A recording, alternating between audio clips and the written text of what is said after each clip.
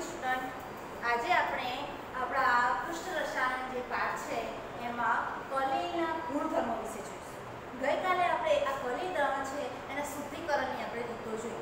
હવે આજે એના ગુણધર્મ જોઈશું. તો આપણે જોયું છે કે અત્યાર સુધી આપણે કલીના દરેક જે ગુણધર્મો છે, શુદ્ધિકરણની પદ્ધતિ છે, દરેક જે બાબત આવે છે, એની બધાની સરખામણી આપણે દ્રાવણ સાથે કરતા આવ્યા છીએ. તો આજે પણ આ જે શુદ્ધિકરણની પદ્ધતિ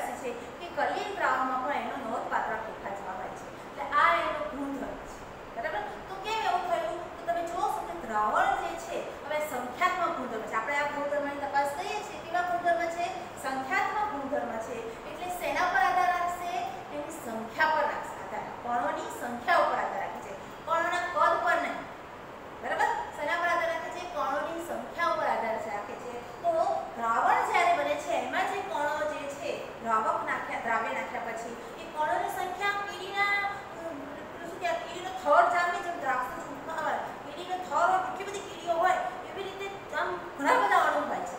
પણ હા, એ આપણને માઇક્રોસ્કોપમાં દેખાતા નથી. સૂક્ષ્મ નરી આંખે આપણે એને જોઈ નથી શકતા. બરાબર ધ્રાવે થયેલા હોય છે, આલંબિક અવસ્થામાં હોય છે, બરાબર? પણ એકદમ એનો વ્યાસ કયો છે, એક નેનોમીટરથી નાનો છે.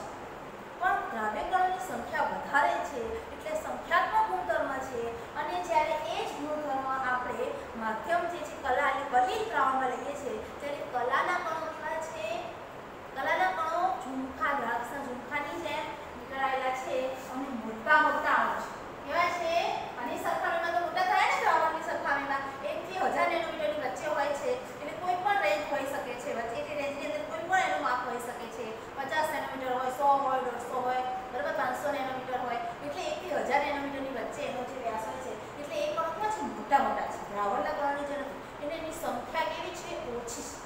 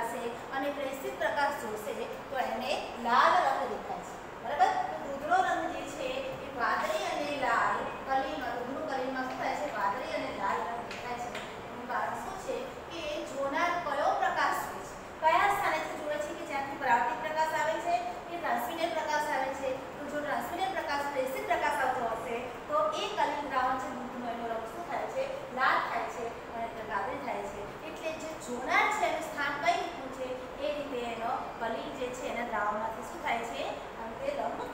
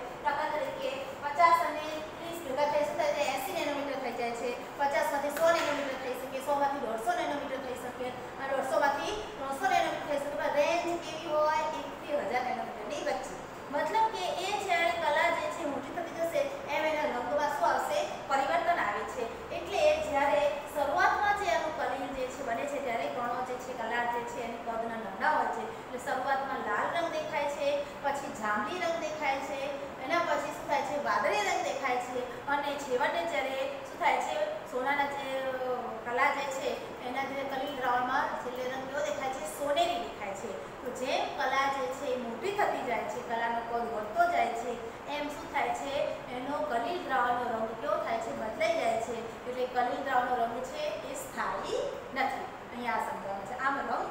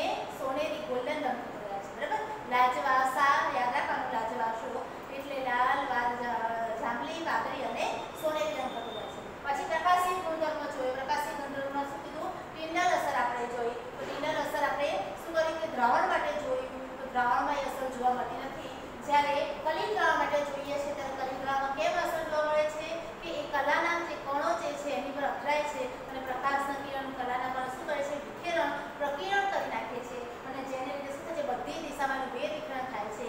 એટલે આપણે પ્રજ્વલિત પ્રકાશ સ્વરૂપે જોવા મળે છે અને આને શું કહે છે? કિંડલ અસર. તો પ્રકિરણને કારણે શું અસર ઘટના થાય છે? ટિન્ડલ અસર.